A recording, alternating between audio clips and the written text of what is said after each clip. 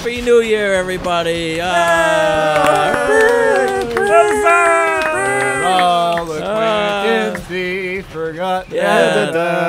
da. the Earth made it around the sun once again. How about that? Yeah. Despite our best efforts. Thank Yep. you, Dick Clark. Yeah, thank you. Everyone again. remember to give thanks to Dick Clark at this special time of year. He gets he gets us around the sun. Yeah. Fantastic. Is he still alive? I no, I think he he died. Uh, I think.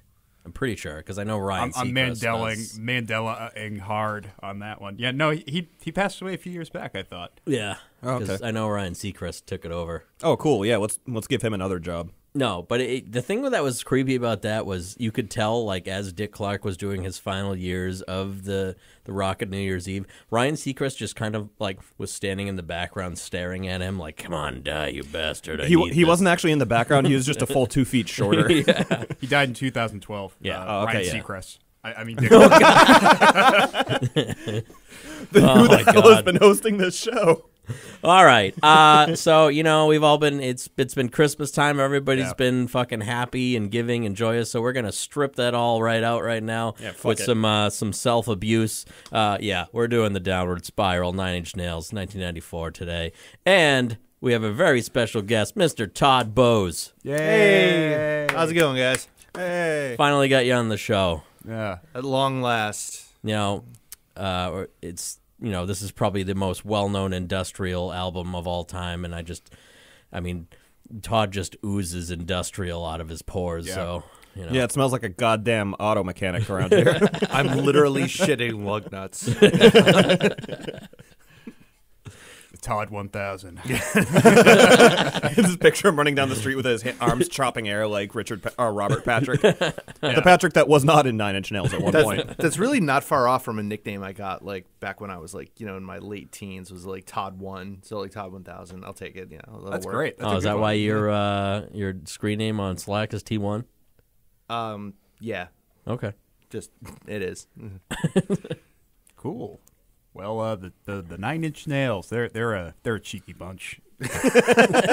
Are they not? Whimsical crew. Oh, it was just the the one guy. if you read about the downward spiral era and like see pictures of the recording of it, like everyone's there. Like uh, Robin Finck is hanging around. Chris Vrenna is on the couch. Uh, Charlie Clouser's probably not too far behind. Yeah. Like there's a huge group of people hanging out. It's not like it was this isolated thing, but yeah, it was just like, all right, guys, let's let's go watch Trent do some shit.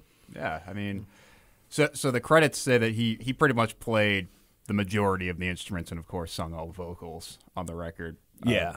with the you know the exception of maybe like five or six other musicians adding stuff, including uh, Mark Flood, our good friend. Mark Ellis, yeah, Mark Flood Ellis, Yeah. yeah. All right. a little background. Uh, the Downward Spiral is the second studio album by American industrial rock band Nine Inch Nails, released on March 8th, 1994 by Nothing Records and Interscope Records in the United States and by Island Records in Europe. It is a concept album detailing the destruction of a man from the beginning of his downward spiral to his death by suicide. The downward spiral features elements of industrial rock, techno, and heavy metal music, in contrast to the band's synth pop influenced debut album, Pretty Hate Machine, and was produced by Nine Inch Nails frontman Trent Reznor and Flood, who we are very familiar with. Yeah, friend of the show. Yeah, Flood, come on the Uh, show. The Downward Floodies. Spiral was conceived after Lollapalooza 1991 festival tour as a pivot for Reznor's personal issues and the negative vibe felt by the band. The following year, Reznor moved to uh, 10050 Cielo Drive in Benedict Canyon, Los Angeles, where act- actress Shannon Tate was murdered by members of the Sharon Mets. Sharon Tate. Did I say Shannon? You did. Sharon Tate, sorry. Jesus, man. This is this is the very beginning of recorded history just going away. I know. Give it here. Go ahead, Todd. Okay.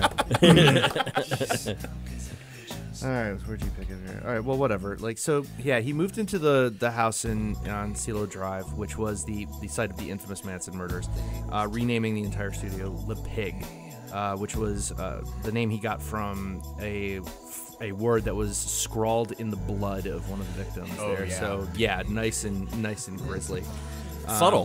where uh, where He ended up um, getting confronted by Sharon Tate's sister, I believe, at one point. He did, and and uh, he said that, that that meeting actually, you know, left a left a huge mark on, Yeah. on his soul, really, because when he was making the record, he wasn't recording in that house for the, to say like, oh, I'm recording the album in the Manson murder house, you know, like no, he was just recording in that house because he needed a house to record it. Um, there was no, you know, extra macabre reason for doing it, but but you know, her sister like confronts him about it, and he he said he had a moment where like he It hit him. it hit him really hard that he was not you know really disconnected from that and disconnected from the trauma that that that whole act you know unleashed upon the nation that so, that whether he meant to or not his record now is inextricably linked uh, to those murders um, and uh, and and he and now he can't escape it no matter what and that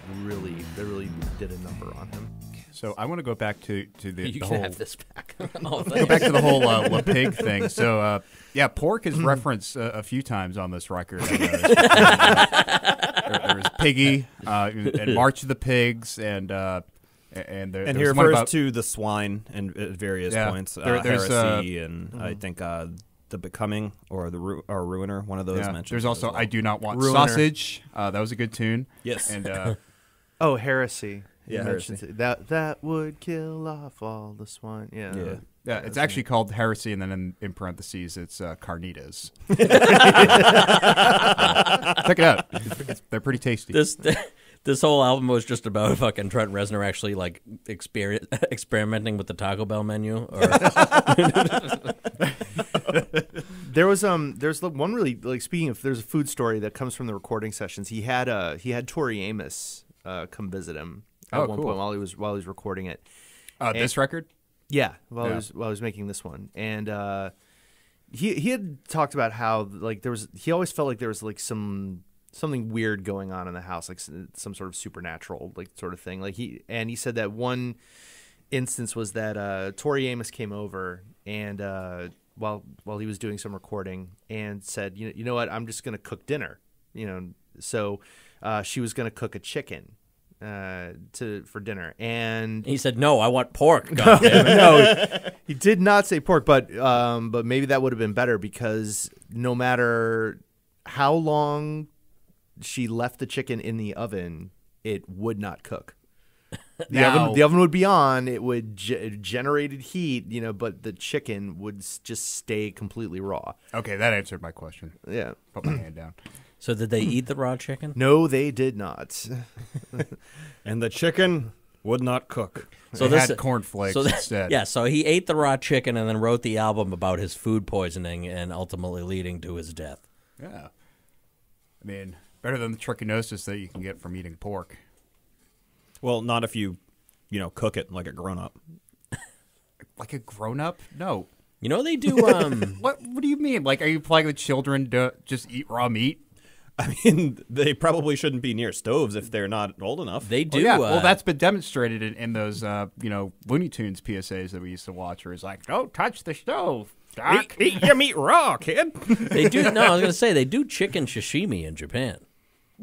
Oh, pass. Yeah. Hard ass pass. Yeah, no, thank you. yeah, and they do have um, whale sushi as well in uh, in Iceland. So I'm assuming they have it in Japan because Japan is Oh yeah. just like well, well, the, I told the you. insanity of any other country just combined into a melting Well, pot of I, I told fucking you lunacy. the last the last few times I've stayed in Shibuya uh, on my commute to work, I'd always walk by this restaurant, and there's just a big sign that says "We have whale meat!" An exclamation point. it's like, I mean, all right. Yeah, Have you ever tasted away a man? That just says tourist trap all Yeah. over it too. You know, like just Can't get that shit. well, you're in America. Shibuya for one thing. And Shibuya, Shibuya. Yeah, two two meats that we do not fuck with here in America are uh, horse and whale, and No, it's but- huge over in Japan. But we've already yeah, but we've already discussed that horse is not illegal in. It's in not the illegal, US. no.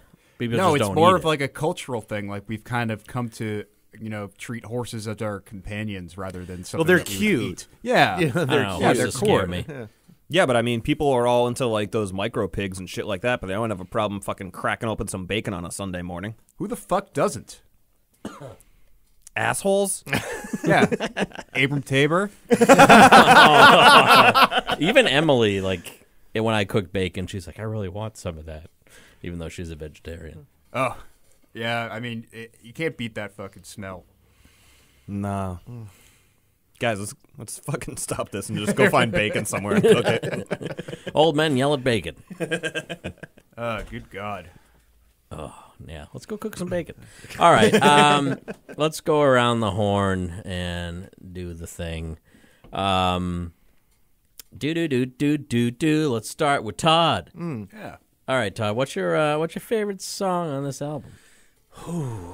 Man, this is really difficult for me to choose. Um, One of your kids is better than the rest. yeah, I know, right? I know. Gotta gotta gotta pl- put that kid in the in the power position here. Um. Oh man, I I do. Uh, I I mean, I guess. You know, it's it's really difficult for me to decide because, like, you know, this record, you know, for for me, for sixteen year old Todd, this is it. This is the record. This Yeah. is Yeah. Eternal number one. Like, there is it is flawless. There is nothing wrong with it. I mean, obviously now adult me is feels differently about it, but um, So now, did you go to the store and buy this record? yes, I bought it on cassette Nice. back then. Yeah, Actually, my, my sister got it on CD as well around this time, 94, nine, maybe maybe a year later, maybe 95. yeah.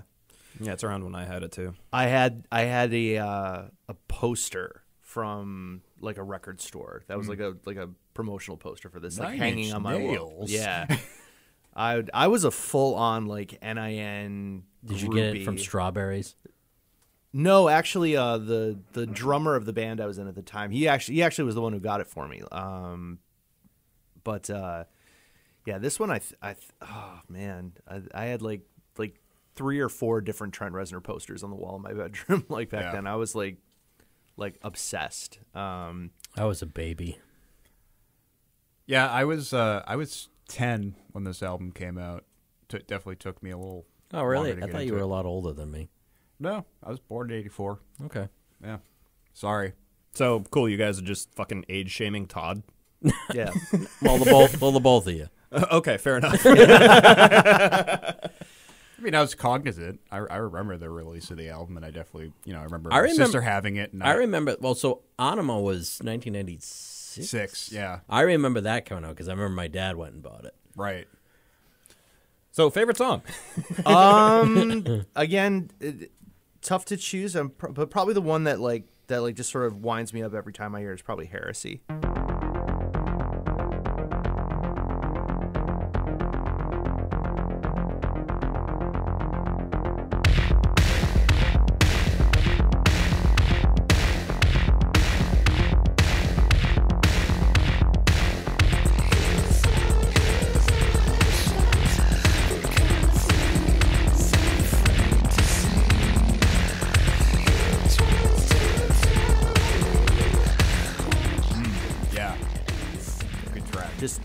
Just a full on jam. You know, Yeah, the uh, the like kind of guitar, like that super bassy, like crunchy guitar shit, and the Mm. choruses are like, yeah, that, that shit's great. I love too that it, that song manages to get away with just a fucking flat out cock rock guitar riff. Oh, in the second verse.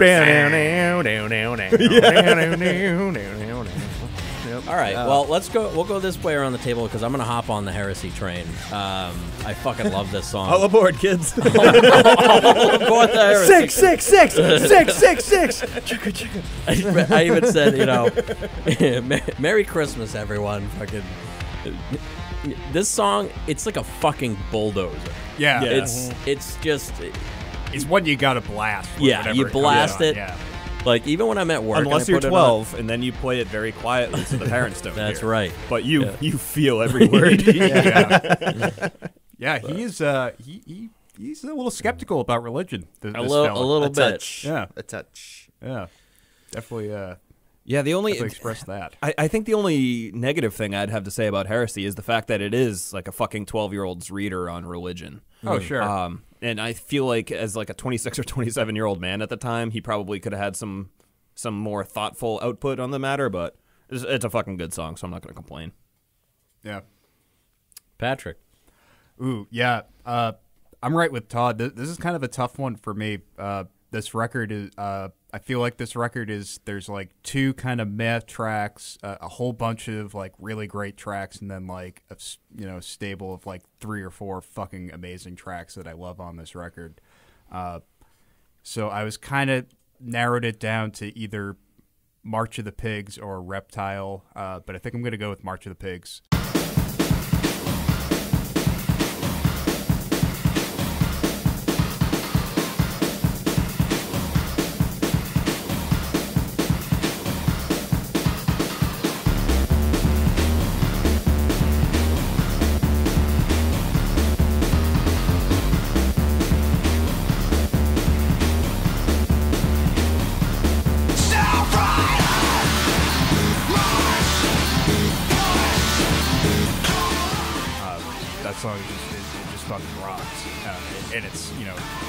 Seven eight meter. It, it's fucking fun, uh, and, and yeah, just the energy of it, and, and just the, the sort of explosiveness of it is really great. And, And, the, the, the- little piano break too is fucking great. Oh, the, the piano break at the end, the like very, and, and like they, he kind of hints at it uh, in, in the very middle too. Uh, yeah, it's you know definitely a little cheeky sense of humor. He throws that little jazz chord on the end.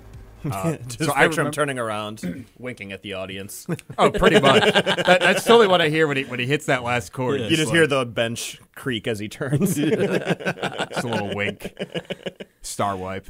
Uh, and I remember seeing the, the the first time I heard this song was maybe like 95 or 96 and it was on uh, MTV's 120 minutes uh, like super late at night one night.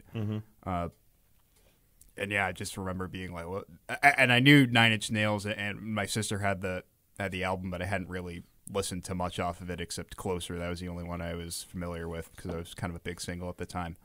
Uh, but that that was the song that sort of showed. Uh, like I said, Closer was really my only reference for Nine Inch Nails at the time, and that was the song that sort of like showed me there was a little more going on with him. I was like, you know, all right, this dude, you know, can write a fucking seven eight punk song, sure. Yeah, and that was the closer was the single, right? I it was, Yeah. yeah. It's crazy to think that that was a single.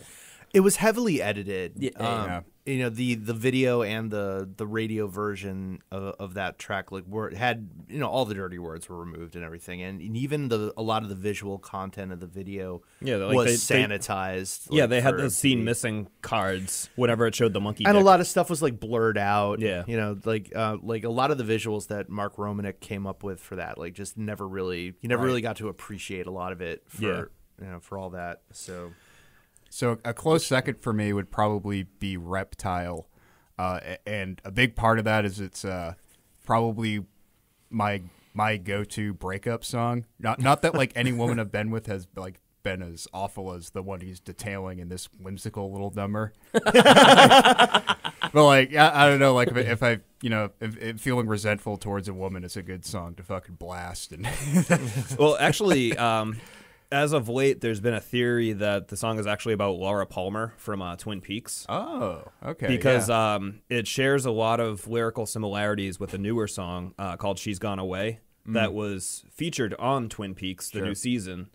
Uh, and Reznor said was specifically inspired by Laura Palmer. Yeah, well, that that kind of gives it an even uh, like more sinister edge to it. Shit.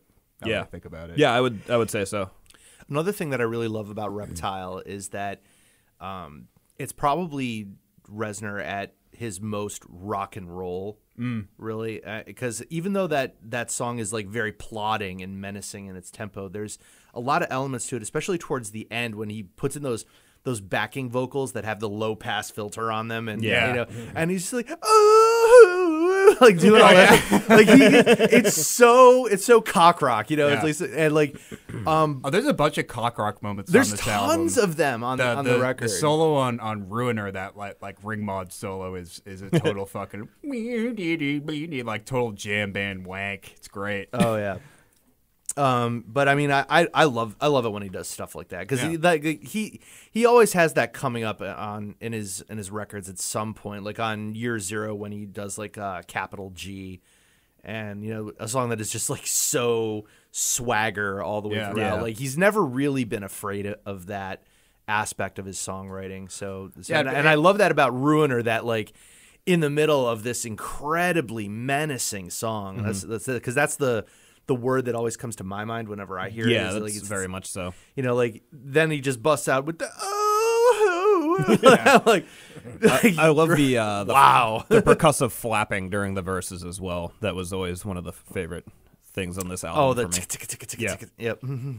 On uh, which track? Reptile or on Reptile, yeah, and it sounds like there's a cordless drill being used as part of the percussion loop. Yeah, Yeah. it's just fucking awesome. Yeah, I, I always think of a like the cardboard baler at, at like a supermarket. The yeah. yeah, lot of great oh, little. I, my note for Reptile was this reminds me of Mech Warrior. well, we had Robot Jox uh, Yeah, being yeah. sampled in in the Becoming. So Oh, like, yeah. That song used to bother me until I found out what the sample was. it's like I I need to skip this. I'm getting weirded out. Christopher, what's your favorite song? Uh, I'm gonna change it up a little bit uh, and go with probably not something you'd expect. Uh, I'm gonna go with a warm place.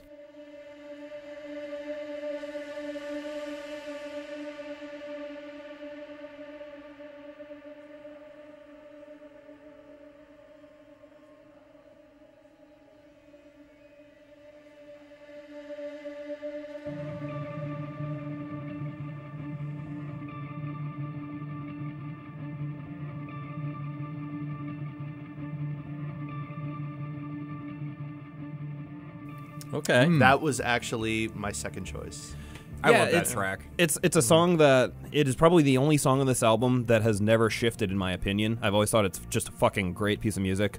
Um, other songs I go through phases where it's my favorite, it's my least favorite, whatever. But a perf- um, a warm place is just always it's always right there, and it's uh, a great example of one of Uncle Trent's uh, songs where you can basically play it with a finger on each hand on a piano, uh, and it still creates like a great fucking Yeah. um, musical piece. Like this is a great example.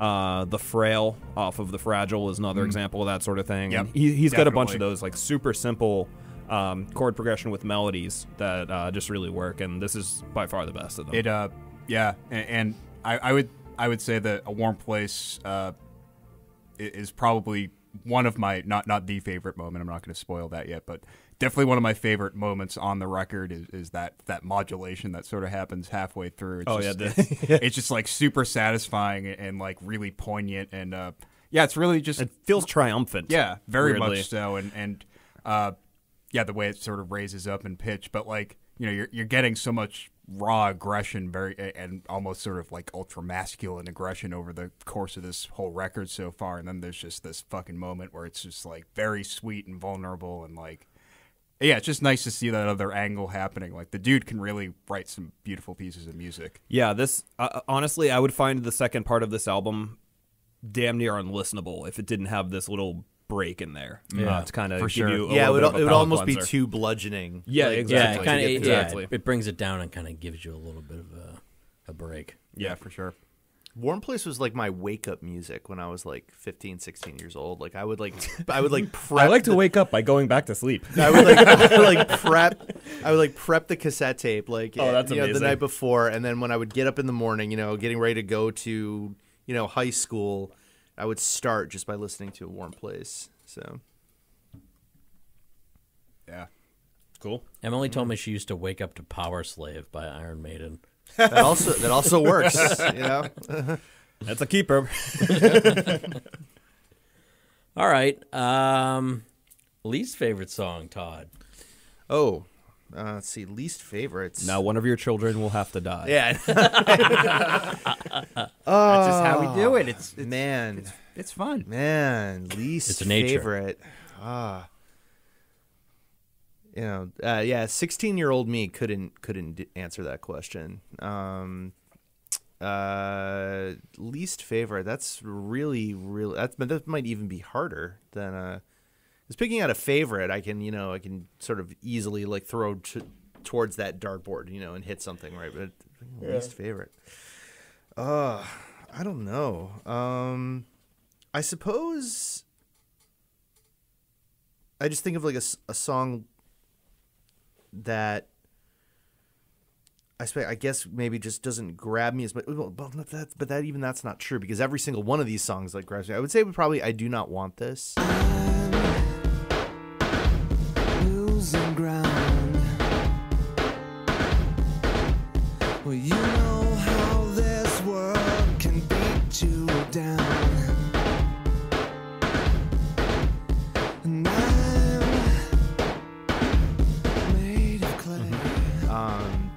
You're at an uncharacteristic loss for words. It's and it's not that I even I even dislike uh, dislike that that song. I I love that song. Um, Well, it is least favorite, so not yeah, not worst. Yeah, I guess Or I guess I hate this and want it to burn. I guess it's just that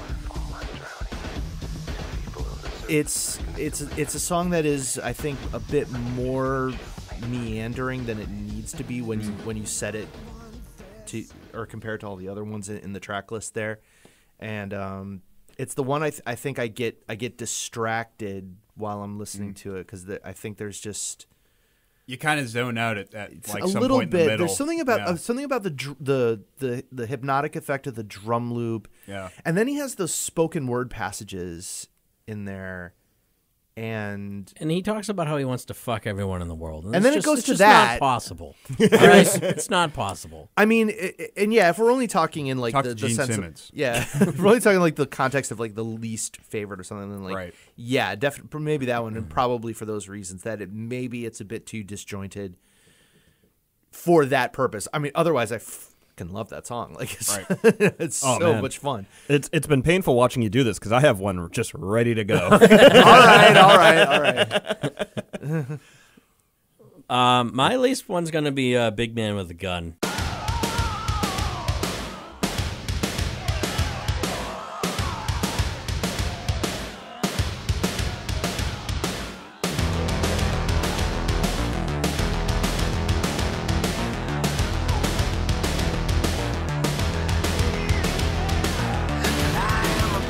Uh, just because it's kind of short and I, I, I feel like you could strip it from this album and you wouldn't miss it.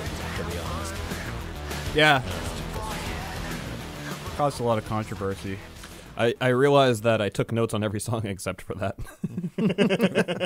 Well, there you go. I don't know. Go go to the Wikipedia page if you want to read about it. yeah.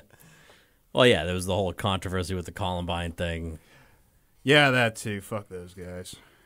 Uh, my least favorite uh, was it- it's going to be closer.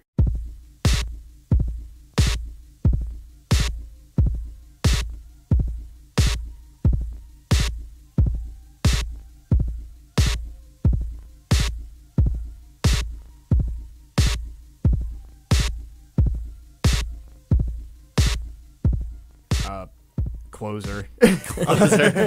Uh, yeah, I mean, oh, listen to this spicy take from Mr. Contrarian. I don't know. It, it's not. Just like not that interesting of a song. I don't know. I never, I never really loved it. Uh, and yeah, it's, it, it's. I feel like it's a little longer than it needs to be. It's, it's played to death. It, it's, it's one that's just sort of lost its effect on me the more I've heard it. And I always think of the Weird Al interpretation of it that he did on, on like one of his uh, indie, his like alternative rock roundups. I think on Bad Hair Day. Uh, Sure it was. Po- I think it was Polka Your Eyes Out maybe. That was the of those. alternative polka. yeah. Oh, Yeah. alternative Polka. And I'm trying to think if I had more. Yeah, I, I think that's really about it. That there's like, yeah, it just it just never really grabbed me, and, and like the I want to fuck you like an animal, like whatever, dude. It's just like it, really, it sticks out, and it's just I, I don't know. It's just like unnecessary to me. I I I, I don't know. Maybe if like Prince was singing it, I could kind of understand it a little more. And this was uh, this was "Come," but it's not "Come." You know, so I don't know. Relax, dude. I mean, I, I've I've read like all the the the interviews with Reznor about about that song, and I I I, I understand what you're saying because it like yeah, it's definitely overplayed, and that Yeah. that's oh, not Reznor's fault really so much as that's the industry's fault. Well, it's really, the it's it's Trent Reznor's creep, pretty much, right? Oh, for sure. I mean, head like a hole. Head like a hole is his creep. Yeah. Yeah. Now that's a song I can fucking go the rest of my life without ever hearing again, and I will be happy. Well, he hasn't sung the chorus to that song in like 20 years. He is not. Or oh, does he just make the crowd do it? Yep. Oh, or or like the other guys in the band would yeah. do it usually. All right, Robin, you're up. Yeah, pretty much. It's like Go for it, buddy. Ilan, your time to shine. Uh, my least favorite is "Hurt." hurt myself today to to see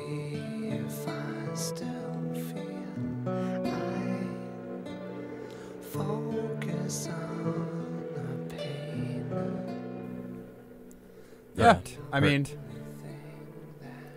why? Yeah. oh, I was just kind of like I noticed like looks from all of you, so I was waiting for you guys to fucking say something. Uh, I it, it's a song I have heard far too many times. It's a song that um, I don't think is as good as uh, everyone thinks it is. Um, and I, I, I am including myself in that camp because for a long time I really liked this song. Uh, and it was probably around the time the Johnny Cash cover came along where I was just like, this song is not for me anymore. Yeah.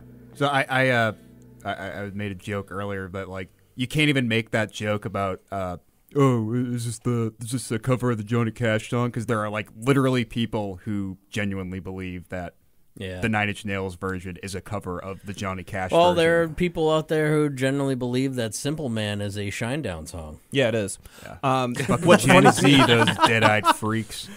what, what was funny to me was um, that Johnny Cash cover came out in like I think 2003, something like that. Yeah, Yeah. 2002. but it it was was- a year before he died. Okay, so basically, it came out back when Nine Inch Nails, their most recent like full release was The Fragile. Yeah. Trent was still not talking to the public.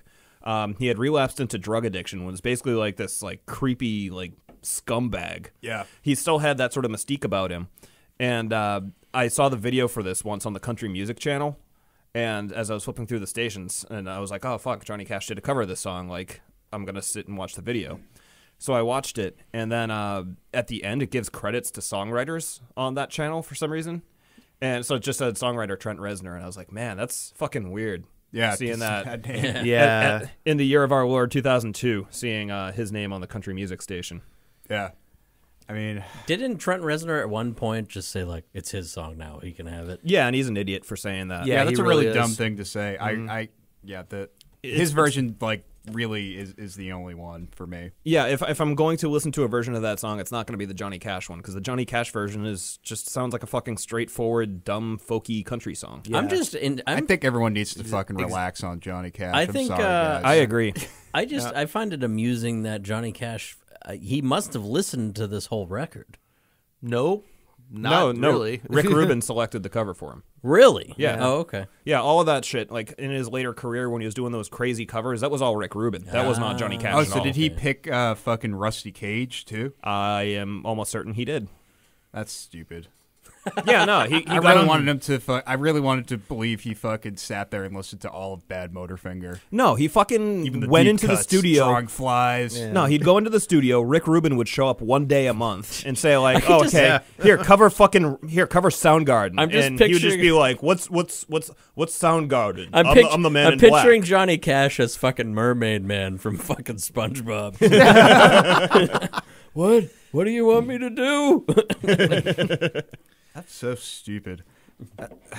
Yeah, the the whole the whole thing with Johnny Cash is just incredibly painful. Like to you know coming from someone who who like that's that's like my record. You know, like Yeah. that's you know like I I was there the day it came out. Like like that's my age group. You know, we all came up with that, lived with that. You know, record, and then for Johnny Cash to kind of like sort of come along and co-opt Oh yeah, like the, sure. that whole song is just like so who are all these Johnny come latelys now that, are, that got like all get to the party late and you know it's uh it's it's Well, so just- painful That sort of like raw emotion just wasn't really allowed in you know the the Johnny Cash country community, and you know, I feel like you know Trent Mm. Reznor went through the emotional labor of writing this you know very tender song, and then yeah, Johnny Cash just fucking took it for himself. and and never mind the fact that you know as as Chris pointed out like the the Johnny Cash version is such a watered down version Yeah, it's very of- brute four five. yeah or, or it's something like it, that. it has like part of what i think makes hurt such an interesting song is that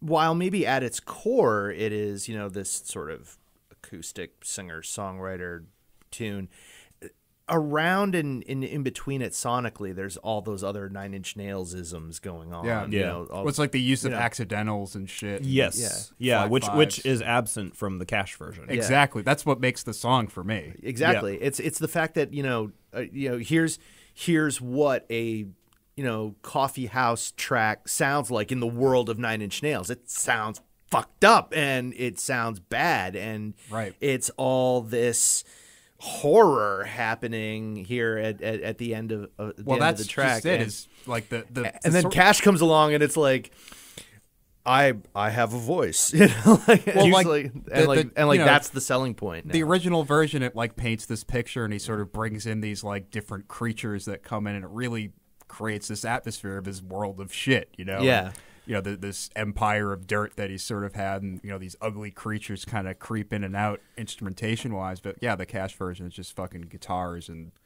You guys just want to go pee on Rick Rubin's car? absolutely I, I I would. So I'm not threatening to do so. I want to make that clear in this meeting right now. However, if I had the opportunity to pee on Rick Rubin's car, I don't know what make, model, or any of that that he has. If I had that opportunity, I'd probably have to take. I'm it. gonna look up what Rick Rubin drives. well If you can find what kind of car he has online, then we've officially gone too fucking far with this. I don't thing. care like what he's you know what sort of good work that he's done for the musical community. He's done a lot of bullshit too. Yeah. Produced a lot of I- fucking bullshit. Rick Rubin is just one of those producers where I think like I think he's for the rock- for certain bands he works really well. Yeah. Like his his well really his production team works Right. really well. Yes. Um you know and I think he's the Rob Reiner of fucking I mean- music producers. Did you guys know that Rick Rubin's a vegan? oh, cool. Uh, actually, that's surprising because he hasn't told me. I know. but I think that like for other bands, like his his production just really falls flat. Like Right. like probably my le- my least favorite cult record is Electric, which is the Oh, one right, that he yeah. produced, and it's like all the cool things about Billy Duffy. Oh, I'm just gonna take those away because I'm Rick Rubin and that's what I do. And uh, uh, you know, and yeah, there's great songs on that record because Billy Duffy and Ian Astbury wrote them. Right. But you know, But he was like, definitely trying to overpower him a little too Yeah, much. they got Rubened. they got they got Rubin. I, I, I could I could probably fill up a full fucking episode of the show bitching about Rick Rubin. So I- I think we should suggest in the interest, I, I would be so fucking down for that. In the interest of just kind of moving things along. I don't know what it is, but it's got suicide doors. It might be a Lamborghini. I'm not sure. He doesn't even drive it. He gets driven around everywhere. Like like yeah, it might be his car, but he probably never takes it anywhere. He probably just rolls around in a limo all the time. Todd, what's your MVP moment on this album? I thought long and hard about this one. Uh, there was a, a there's so many great great moments on this record, but um, the one that that I that I always came back to was uh, there's towards the end of the Becoming, there is that uh, that backing vocal where. Uh, he he I don't know he like pitch shifts it so that it the vocal is like a, like up a, an octave or two. it's like, pitch shifted and ring modded. yeah, I it's think, like yeah. I, it won't give up. It wants me to goddamn this noise inside my head, but it's like yeah.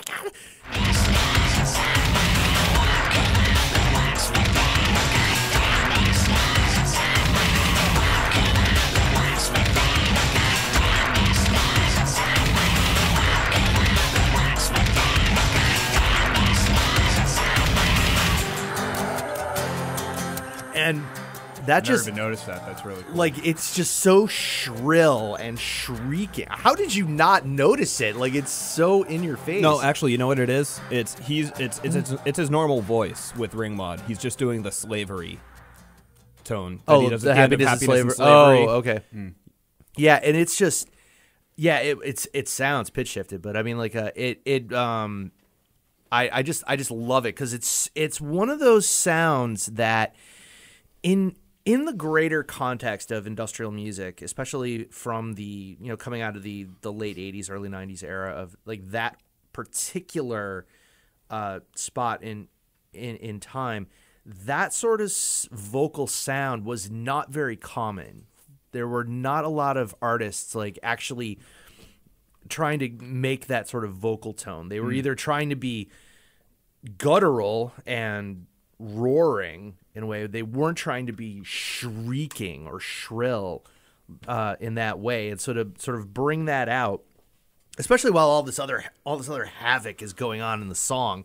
Um, I think it's just a it just makes this one particular line like really stand out, and it just uh, it just it's it's stuck with me.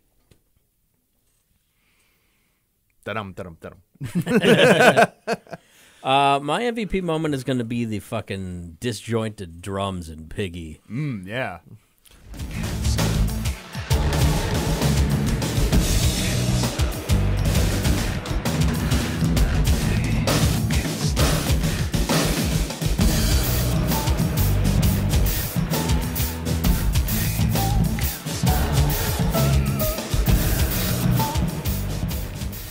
Brilliant.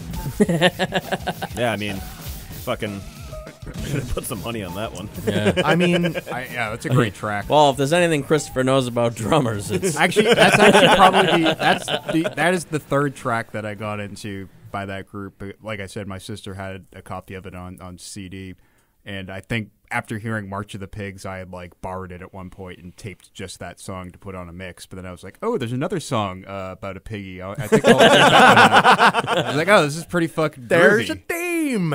And I, I think like the best part about that song is just its pla- placement on the album. Like Yeah. right after it, it's track two. and Yeah. it's, and it's probably like the only sort of mellow moment you get before a warm place. right. Yeah. Uh, but yeah, then those disjointed drums kind of come in, and it's uh, was was that Stephen Perkins doing those? No, um, that was actually Trent. Um, Oh, okay. So allegedly, the story is that uh, he was he was in the studio, got behind the kit to to record some tracks, and uh, they started the playback of the of the song, and for He whatever realized he didn't know how to play drums. no, he, he he wasn't hearing anything in his headphones, and I think like Alan Moulder was in the in the control room, and so Trent just started like banging on the on the kit, like you know, are you getting anything? Like I'm not getting ah. anything in my headphones, and you know, so he just like you know kept like banging stuff out, and eventually he just you know started to play a beat, you know, and that of course is it all got caught on tape because hmm. you know Alan Moulder like was always recording because he's another one of these like mutants from the from Agent that Mulder record. on the case. That's pretty cool. Mm.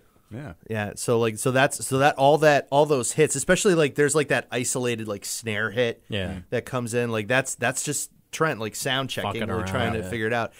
What what's awesome about Chris Vrenna as a drummer was that when I when I saw NIN on the Self Destruct tour, which was their big world tour that year, um, like Vrenna played all those rando hits like exactly as they show up on on the recording. Like it was like shockingly note for note. Yeah, yeah. Jerome Dillon was able to pull it off, and uh, Ilan Rubin obviously pulled that off too. No relation to Rick Rubin. no, he's, he's he's a good one. Uh, yeah. So there there are definitely a few moments on here that I that I really that I really enjoy. I think this album, uh, you know, one of its strengths is is uh, you know the usage of hooks and, and just like you know bringing different characters in into the the sonic palette. Uh, so I think the like the best example of you know that employing that sort of method to to arranging is uh, the build or the the beginning build of Eraser.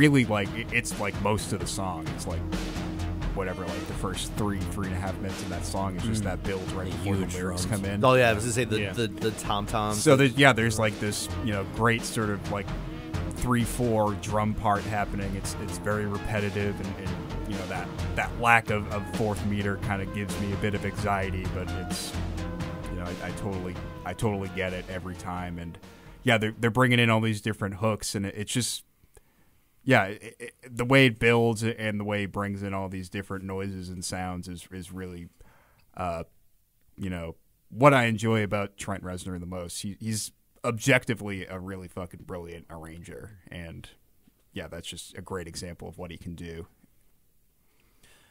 Uh, so that was actually my pick. So I'm gonna go with my second pick uh, along the same lines. Uh, was it the build specifically? the build specifically in Eraser. Oh Eraser? fuck yeah, yeah, yeah, dude!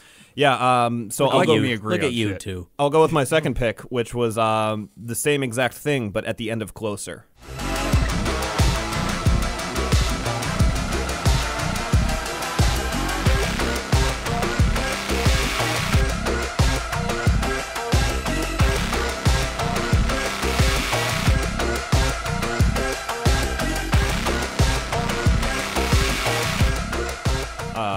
I don't think it went on too long.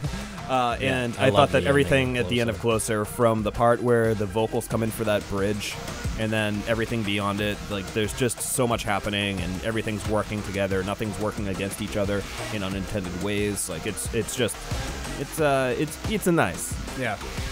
Another uh, another little bit of a, a secondary MVP. I do love how the the song "The Downward Spiral" does tie back to the outro of Closer. Yep. Yeah, that little motif there is. Yeah. Uh, I do like that moment. of Yeah, it pops up a couple times. Yeah. Uh, and also, it kind of gave a little bit of an introduction to Hurt as well. Yeah. In terms of uh, just what the guitar was doing, sounded pretty hurty. Hey, uh, question for uh, for the room, I guess. In Closer, uh, there was a credit listed for Flood that said special hi hat programming by Flood. Does anyone know what the fuck that means? Um, Did he do the? no, I think it had to do with the uh, just the the open hi hat uh, hits for, for- on the on the upbeats that that that that made like that sort of disco during the sound. chorus, yeah. I think he had something to do with that. Like he just assisted in the production of of making it sound that way. Um, what a fucking basically- ego on Reznor though to just be like you can't even just put like hi hat programs, hi hat programming by Flood. It's like special hi hat programming. So here we are, fucking like 25 years later, talking about this, like wondering what the fuck it actually means. well, yeah, there were some- Stewart Copeland wouldn't return their calls. Yeah, really. I, well, there, but there are lots of things like that on the record. You know, um, like the the the steakhouse thing that, that Tommy Lee is credited for on Big Man with a Gun. He bought them dinner. Um, yeah, yeah, he just took him out to dinner like one day. You know, I, I'm actually kind of surprised that Tori Amos doesn't get a credit on here for you know raw chicken or something like that. I mean, like dinner that never happened or whatever. Um, you know, uh, but there were a few things like like kind of like odd idiosyncratic things that uh, that people get credited for Yeah. uh, on this album. And I think maybe I think maybe it was just part of Reznor's gambit a little bit to have it look a little bit like more people were involved with the record than actually were that it really Right. wasn't just him sitting alone in a room you know you know for hours and hours and hours you know Yeah. cuz that that at the time I don't think would have lended very well to the mystique that he was trying to build up for Mm-hmm. Nine Inch Nails, or the mystique that was already sort of happening for the band. You know, like people sort of had certain expectations back then of like what bands did and said and looked like and, Yeah. and behaved in certain ways, and everything that Reznor was doing, you know, was ran very counter to that. I mean, I, who's who's the guy from Boston? Tom Scholz. Yeah.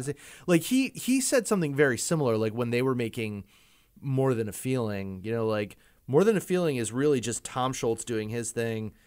Brad um, Delp Bra- and Brad. Delp sings, and that's it. Like it's just those guys. And Yeah, he's doing all the drums and, and bass and, and organ. yeah, and they're they're crediting all these people Yeah. on the record that that didn't even play on it, but they're crediting them anyway because they have to keep up that illusion Right. that there's you know So, a band. I think happening. It's a real actually- Siamese dream kind of situation. yeah. So it's actually, I think it's kind of good politics to include more credits on your album because that's just like you know more people will you know promote your record that way. Uh, It's just like another end of, of promotion because you know that Well- person will be like, oh look, I'm on this record. Yeah, I mean, I if would- you if you include Mark Flood Ellis on your album, he's going to go and tell at least like ten friends, and then Yeah, they'll go and tell ten friends, and like Yeah, I you, got you've mutuals. sold your record. At yeah, this on point. all his mutuals on Facebook. Yeah, Yeah. for sure. And he's sharing it in all his local groups, so I have fucking 15 notifications whenever they have a show. Calling you out, Lee Martin. No, just kidding.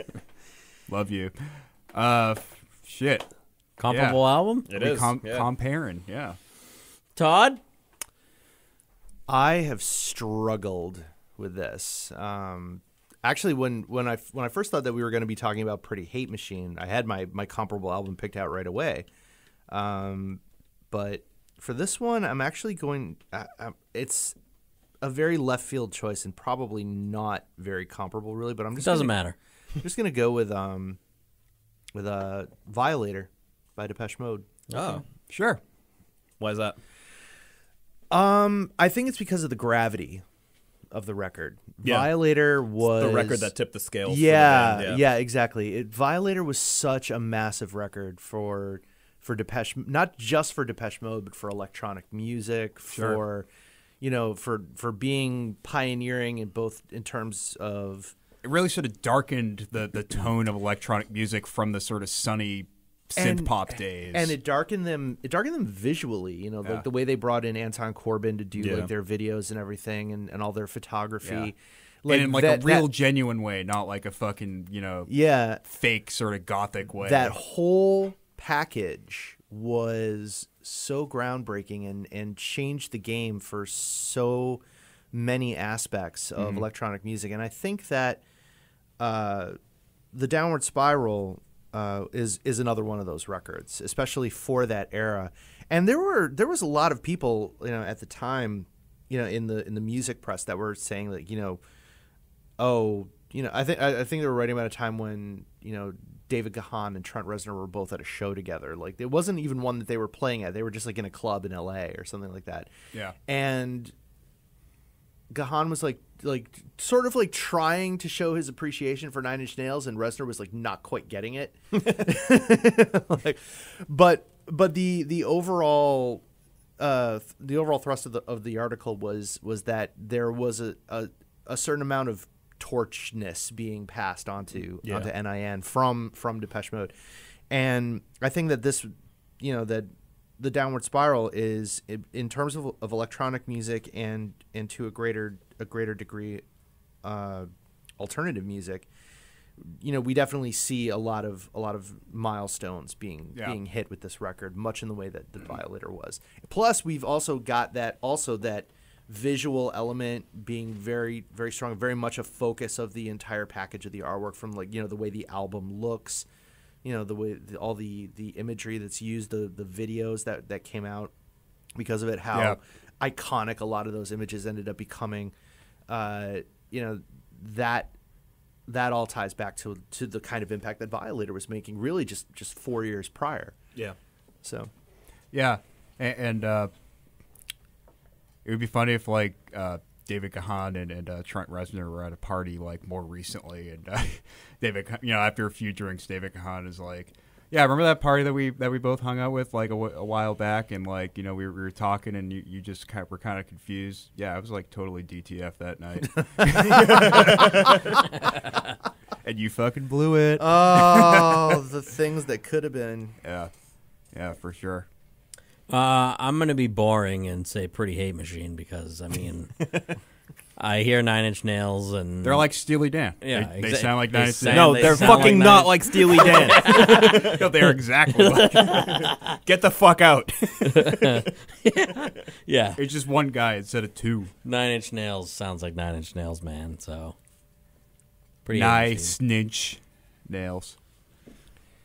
I think it's also that you know a lot a lot of that though that that idea of like you know Nine Inch Nails sounds like Nine Inch Nails is that Nine Inch Nails were really a, like kind of a premier band. I mean, I like gonna, they, I mean, he's the Trent Reznor is like the father of industrial music, right? well, I mean, I don't know He's- enough he, about. he's more- more, he he's could Gary be Numan. accused of that, but He's I mean, an ambassador. he's an ambassador. But Yes. like you talk about like the, the music industry in the early 90s were in, was investing very heavily in NIN. Like he was just he was handed so much gear and given so much opportunity to really like do things that artists who had been operating in that genre and similar subgenres for years like never really could could afford to do like you you you read about what guys like cEvin Key from Skinny Puppy or uh, you know Bill Leeb and Rhys Fulber from Frontline Assembly were were were doing it at the time. They were they were like, oh wow, we got an Ensoniq sampler from 1987, and we used that on an, like an entire record is built around this one piece of gear mm. that they had to you know scrimp and save, and like they got it, and it was like being handed like you know a golden chalice from Jesus. I mean there was that, but then there was, you know, Reznor was kind of on the opposite end of that spectrum. He was like the chosen one who got, who also got like a lot of stuff handed to him too. Like, and I don't really think that that's not to his detriment. That's not what I'm saying. What I'm saying is, is that like he's a great example of just basically what you can do if your only limit is really your own creativity. Mm-hmm. Like s- like materially, sonically, he could he could get anything he wanted. He had John Lennon's fucking Mellotron in the studio. Like you hear it on Piggy. Like, you know, like this that's that's like how like how much opportunity Reznor had. And he and he clearly ran with it. That's Yeah. that's kind of why NIN just sounds like NIN because like e- there's no limitation on Reznor. You know, when it comes to his equipment, his opportunities, he's got limitless ones, and he pretty much has, which is you know, um, And I think you can you can sort of pick out his you know where he picks up random influences here and there in his music, but he but he definitely combines it in a very unique uh, and yeah uh, distinctive way. Cool. Uh, Patrick. yes, my comparable album. Thank you, Todd, for uh, Yeah. saving my ass there. It was it, it was a beautiful ass. To be saved. it was Thank worth you. saving. An ass worth saving. The Jim Schultz story. You stick your ass in the sh- polo shino. uh, yeah, so I'm actually going to go with a former pick that we did on the show, uh, The Cure's Disintegration, uh, for a few reasons. Uh, similar length, uh, and the way it's sequenced is sort of similar uh, in in the way that they're you know a lot of the the bangers shorter tracks are towards the front, and then it sort of segues into this, you know, this sort of darker, longer track period, uh, and then it you know closes out with uh, what song closes out that album? Homesick. Untitled. Untitled. Sorry, uh, and uh, yeah, the the uh, whatever side C of disintegration, the uh, uh, prayers for rain, and uh, oh my god, what is it called? Same deep waters as you, or what, Same it? deep water as you, yeah. Yeah, uh, where like yeah, that that's a that's a moment on the album where where the tone like really takes a fucking dive into, you know, real depression, sad boy territory, and there and there's, you know, that moment of a warm place through you know going you know leading into Eraser and Reptile, where, where yeah, just really kind of gets into a fucking dark place, and I'm not really one of those guys who has a lot of fucking like depression albums. I tend to like when I- when I'm not feeling great, I, I, I try to put on music that will make me feel better and uplift me. But I would say that both of those records are ones that I will put on if I'm like not doing so hot. this album and, and Disintegration, I will definitely, you know, they're, they're definite breakup albums for me. definitely downward spiral was like you know when i was 16 you know there i was at the height of you know you know high school sad boy Sure. like, Teenage moment. angst. like like that yeah like that was And that's like a target demographic. oh too. yeah like i was for. i was it like Yeah. i was the mark that Yeah. interscope records Hook, line, and sinker, J- baby. jimmy iovine had my picture on a dartboard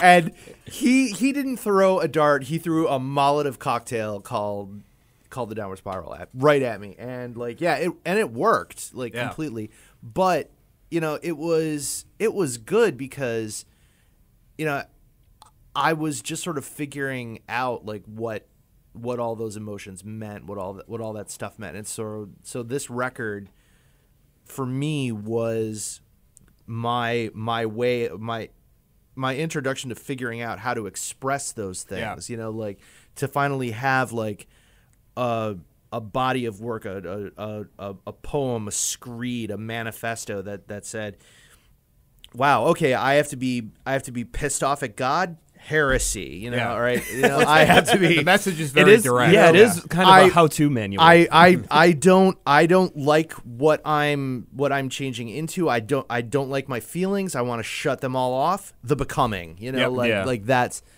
you know that and you know I want to Ev- fuck everyone in the world. I do not want this. yeah, you know, like all that, all that stuff. Like you know, it was just you know, here was a very good, you know, you know, sort of like almost like a, a costume I could put on, and I could, I could say like, you know, and and at least I could, I could, I could make it work. You know, Right. Like, like, like, wow, that was that was the record. That was the moment that that that did it for me. And uh, but that was and that I think it had up- a stronger cultural impact than than people really give it credit for, too. Yeah, I think that that's absolutely correct. Uh, where it was sort of at the tail, 1994 was you know grunge was on its way out. I mean, we it, still it came out a month before Kurt music. Cobain died, so Yeah. Yeah. it was kind of doomed to not. and the same be day as- as Superunknown, I think, yeah, as well. So I- just yeah, I think that's Not a lot of happy music happening that year. but a lot of good music. yeah, Tori Amos's Under the Pink was that year as well. Mm. Bringing it back to her. Um, I'm gonna say my, my comparable is uh, one that's certainly derivative of this album, but uh, Antichrist Superstar by Marilyn Manson. I almost Yeah. picked Marilyn Manson. Um, Interesting. and yeah, I mean, obviously produced by Trent Reznor. He's on the record all over the place. Um, certainly has a lot of his hallmarks all over the record. A lot of the same synth sounds. A lot of the same synth sounds. The guitars could be taken directly from the Downward Spiral. Um, and the uh, Manson is clearly trying to ape a similar sort of plot outline, even though he later, later uh, retconned it to be part of a bigger project or something, um, what what have you. Uh, that's definitely what I'm what I'm getting. And plus, I listened to both of these albums a fuck of a lot uh, around the same time, so they're they're just kind of inextricably linked to me. to include these monsters on Antichrist Superstar. We didn't have the budget at the time, but now we do. now they've you know buried all of the old versions of Antichrist Superstar. They're in a landfill. Yeah, uh, uh, yeah, I heard they that that's revamped it. Well, th- uh, apparently uh, Reznor trashed the master tapes of Antichrist Superstar. Really?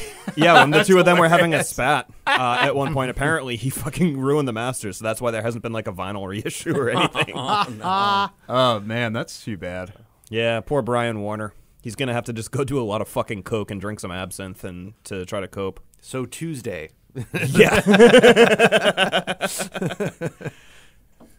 All right, let's uh, rate this behemoth. Todd.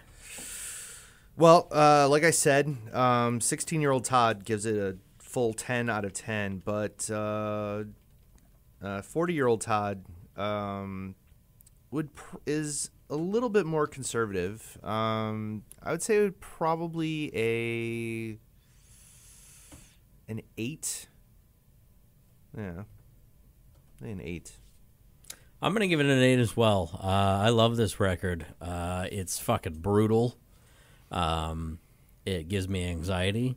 It makes me feel something, which I always appreciate when I listen to a record. Yeah, Um, and uh, yeah, I mean, I don't think it's a perfect record. I think there are a couple things that could be stripped from it, but it's fucking definitely one that I can listen all the way through and have to go take a shower after I listen to it. Yep. But uh, yeah, it gets an eight for me.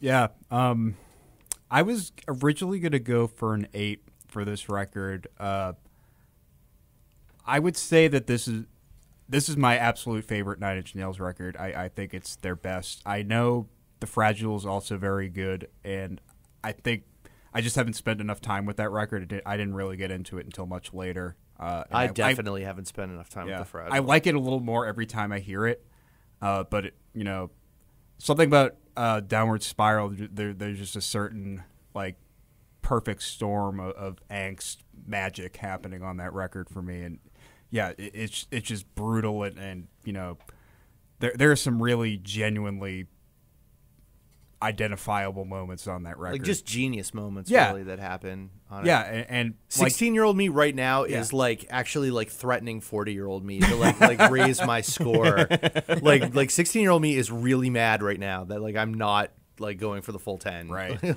uh, so so that's I'm- my internal conflict right now Like, So I'm, I'm actually going to give it a nine. Believe it or not, uh, because 16 year old me is doing is doing this like really like you see you see todd Even You this see idiot is doing it. Steely Dan fan is giving this a nine. No, but I, I, I really I, I respect the hell out of Trent Reznor. Like, like I said before, I think he's objectively one of the most brilliant arrangers of our generation, uh, and just the shit that he's. Uh, you know, he, he, he spoke to to a disenfranchised generation, and you know the record companies totally fucking rolled with it. But he's still managed to put out quality content, you know, relatively quality content over the years, but nothing really topped the, you know, the, the sort of naive magic of, of hearing March of the Pigs for the first time when I was like 11, 12 years old, and you know, just a complete nerd. But I was like, yeah, something about this is so fucking fierce, and I'm like, my hormones are are you know starting to rage, and I'm like, I'm angry and horny for some reason. and this is, and I actually didn't, you know, and I rediscovered this record several times over the years, and yeah, I've definitely grown to appreciate the, you know, his ingenuity and and uh, his vision much more over the years. Yeah, it's a great fucking record, and I will, like I said, it's when I'm in a bad spot, th- this is a record I will definitely throw on at full volume Yeah. for sure. I, you know, it's funny you were mentioning like this is you, you feel like this is the best Nine Inch Nails record, and I, I and I tend to agree. And it's funny because like I didn't really dive into the Nine Inch Nails catalog. I mean, I only really knew Pretty Hate Machine and and Downward Spiral and like you know the singles from here and there. But um, when Hesitation Marks came out, I actually was like, I'm gonna I'm gonna listen to this, and I fucking love that album. Yeah, It's a pretty good album. Yeah, it's pretty good. yeah, this record, li- like I said, it. Uh, I think people sometimes underplay the the cultural impact it had on like suburban rock Yeah. music or like rock music that sort of hit the suburbs because it, it sort of had this very dangerous edge to it that you only really got from gangster rap at the time. There was and there was really like only a handful of bands that really uh, crossed a lot of, I guess you could say, socio-political boundaries. I think of like like just like what did all the different cliques in high school listen to? You know, everybody listened to this NIN record, mm. and it was like this record and you know. Uh, Astro Creep by White Zombie. Everybody had that one, mm-hmm. Which You I know, almost compared this mm-hmm. album to. and it was like this, and then and then everybody had Tools, Undertow, like Yeah. at the time, Yeah. like those, like those were like the three bands, like NIN, Tool, and White if you wanted to scare your parents in Norwood, Mass, that's what you own. I changed my But it mind. was like mm. I changed my mind about my comparable album. I forgot when I was listening to this a few weeks ago. I was like, "Oh, this is going to be my comparable album." Fucking Death Grips. No Love Deep Web. That's Oh, okay, going to be yeah, my yeah. fucking comparable album. Because that album gives me a goddamn Is that anxiety the one attack. with the dick on Yes. the front? Oh, God damn it. Yeah, fucking great band. Let's, let's put an album out with my dick on it. Actually, I, I have been meaning to listen to Death Grips. I, I think I would dig them. Yeah. Um. So I, I like all the Death Grips I've heard. You know. I'm I'm gonna go uh, in kind of the opposite direction. Uh, the Fragile is definitely my favorite Nine Inch Nails album, and um, it's gonna be my birthday pick this year. So uh, you guys will be listening to it in June. Maybe we can get lunch between the discs or something. okay. Um, uh, get some yeah. McDonald's. Yeah, we'll, we'll go and get some McDonald's from the weird hut at the uh, McDonald's in Wakefield. Um, Seems appropriate. yeah. For, for after, uh, oh, what's the last track on the first disc? uh, La Mer or the? Great Below. Oh, The Great Below. Oh, yeah. Yeah. Uh, so yeah, the, the the fragile has always been my favorite. Uh, Downward Spiral was always a close second. So I think eighteen year old me would have certainly said this is a nine. Thirty something me is saying that this is an eight. But I'm gonna take it back up to nine. I'm gonna give it a bonus point uh, because this and uh, STP's Purple are the uh, they're the albums that made me start fucking playing music. Yeah. So All right. this this album gets an extra point for me. Yeah, can't Yeah. say it enough. 94. Fucking awesome year. like I said, sixteen year old me yeah. is is basically just beating my my forty year old self like, in the back of the head Well- right now. don't- They're not don't- ready to get higher. Jesus. Don't worry, that gives 60, us 60 year old you is just ripping your gallbladder out I mean, of your here's gut. the. Too I mean. I mean, here's the, like, I mean, yeah, I mean, this record. I mean, well, really, or really, this not not just this record, but really the the tour, the self destruct tour in that year, like Boston Gardens, December third, nineteen ninety four. You know, being in that audience, uh, you know, watching, you know, Reznor and crew like up there, like basically giving a show that it just had I, something I'd never seen before, and like Yeah. that, it was at that moment that I that I knew that like I wanted to be a musician. I wanted to be doing that. I wanted to be Yeah. up there, uh, and like so like this whole album is just uh such a a, a, a, a, a f- a focal point in my in my in like in my personal history, my musical history. Mm. It's really hard to even be object objective about it at all. You know, like I just I just love this record so much. It's chaos with function. I, I think is a good way to yeah Yeah. to sounds place right. it too. Where you know there there was definitely chaotic music happening before then, but this was this put it through such a like a focus angle to the point where it's like, yeah, you're really capturing these moments that sound like a panic attack in my head. So uh, that gives us a cumulative rating of 8.5, which I think is Nice. uh, I think that's a pretty That's a higher one. yeah, that's a pretty I think that's a realistic rating of the downward spiral. Yeah. yeah, that's Library um, of Congress worthy. Sure, Yeah, absolutely. Yeah, let's let's fucking go Let's make drop that it off happen. at the library. Yeah. I will. Yeah. F- fucking shutting the government down because we can't have a wall. Why don't you fucking put the downward spiral in the fucking Library of Congress? Actually, I just I just, got a, I just got a message saying that the, the government shutdown is likely not happening. I thought it was already happening. Oh, I don't know. I don't fucking know shit about anything. Uh, whatever. I'm talking out of my right. ass and just insisting we put this in the Library of Congress. It's shut down since that that is the official way that you submit, right? Via podcast. All right, uh, Todd, do you have anything you want to plug before we wrap this baby up? Oh well, uh, obviously I, I would I would love it if everybody would uh, check out my band Downcity Armory. Um, we're on all the social medias, so um, but hopefully this year is going to be the year that we release our elusive full length LP. So uh, I Nice. heard most of it today. It's very good. Thank you. So uh, yeah, I'm doing that. Plus, I have my my own little podcast, which I've been ignoring lately, but I'm, I'm working on getting back into it. Called uh, My Unfortunate Brain, Unfortunately, or Mubu, if you uh, if you prefer. We're over on uh, on Podbean and hopefully a few other places soon. So Very cool. Awesome. Speaking of downstairs uh, armory, uh, as of the recording, happy birthday, Rick! Right? Today Rick's birthday. today is Rick's birthday. That is right. Happy birthday, well, Rick. December 26th. December 26th. It's now the Yeah. future. It is Yeah. now Yes. the future. It's now next year, guys. Happy belated, Rick. Happy Yeah, belated, happy belated. Rick. Yep. also, Um, happy belated Jesus, because his yeah. was uh, on the 25th. That's Yeah, right. whatever. Sorry. Ha- happy Crimmage. perfect kingdom. Um, Yeah, Christopher, what do you got going on? Ah, fuck. Uh, you know, just the usual horse shit. Um, Usual fuckery. Yeah, you can go check out Very Lamar's uh, latest album, Little Steep Decay, on Bandcamp and Spotify and all all of that. Uh, yeah, and that's that's really about it for me right now. Cool. I got nothing. I don't know. all right. You know, smell stuff happening soon. So, Stay fucking tuned. Jesus Christ, Patrick! Send me those stems. I, I will. wonder- What are you waiting many- for? Uh, s- We need to go back into the archives of this podcast and find the first time you told him to send you the stems. because we have a date tied to that. I think it was on the Peter Gabriel episode. Probably. I don't Four know. years later. Patrick was like, I really want to get these out by like Halloween. to be fair, he did he specify a year? it's true. He didn't. Halloween 2019. Uh, it's, it's technically always before Halloween. No, I don't know. I, I Saturday and Sunday, I just I I Just got went to high and, and McDonald's? yeah, I did not go to McDonald's. I'm still on a Mick hiatus, a Mick break. Big break. Yeah. Uh, I don't got nothing much. Are you Uh, are you gonna go tonight? No, Are you sure? Don't do it. I like Be go to strong. Wendy's. I love Wendy's. Oh, if you go to Wendy's, do you remember the last time we did an off-brand fast food thing? It didn't go well.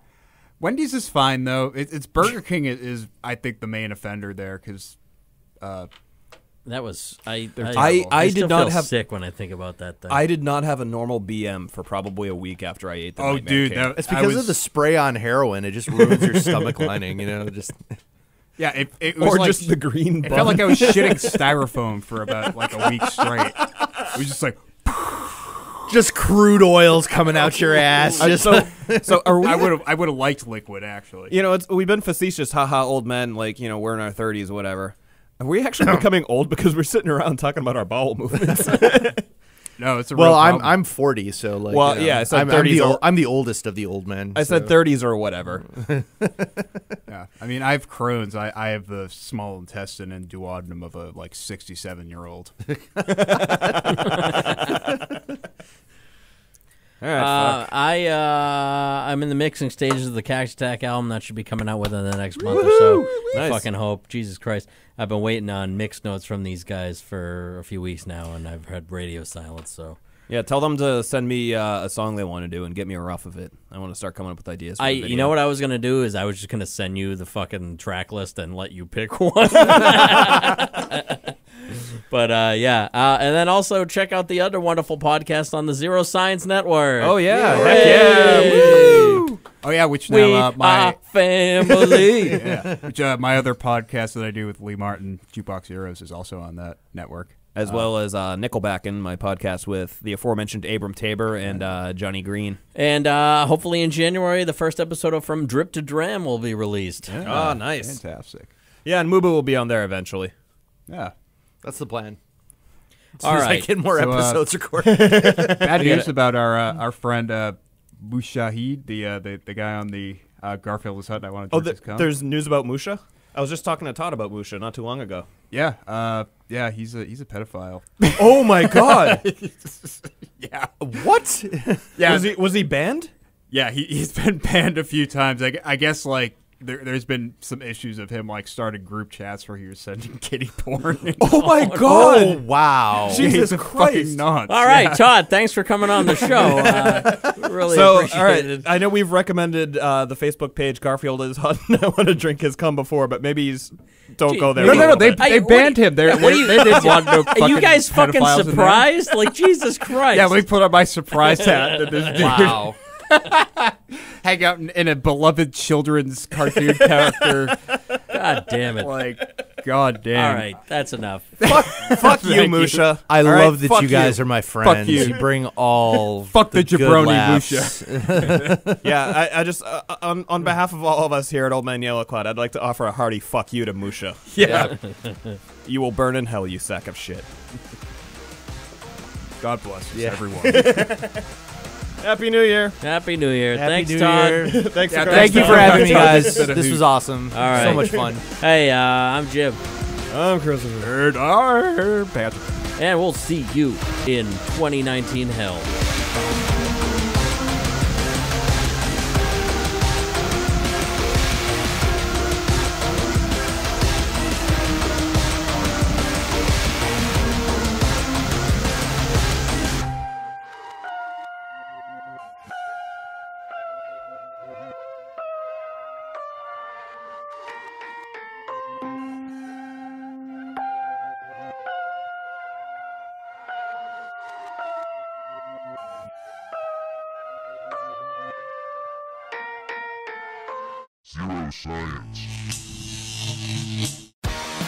Amazon is hiring near you. Earn a competitive wage and start as soon as seven days. No resume or experience required. Health and safety are a top priority with all of our roles and sites. Amazon is taking precautions in our buildings to keep people healthy. Go to amazon.com slash apply. That's amazon.com slash apply. Amazon is an equal opportunity employer. Amazon is hiring near you. Earn a competitive wage and start as soon as seven days. No resume or experience required. Health and safety are a top priority with all of our roles and sites. Amazon is taking precautions in our buildings to keep people healthy. Go to amazon.com slash apply. That's amazon.com slash apply. Amazon is an equal opportunity employer.